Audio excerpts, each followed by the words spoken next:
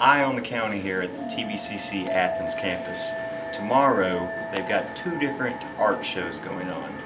One is an actual art show themed around the Hunger Games, and that is going on from 9 a.m.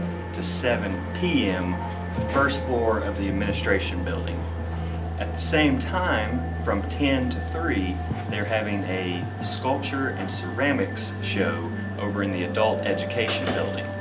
Now, during the TVCC Spring Art Show from 9 to 7, they're also having a silent auction of this painting here, and all proceeds are going to Sasha Madsen's medical expenses.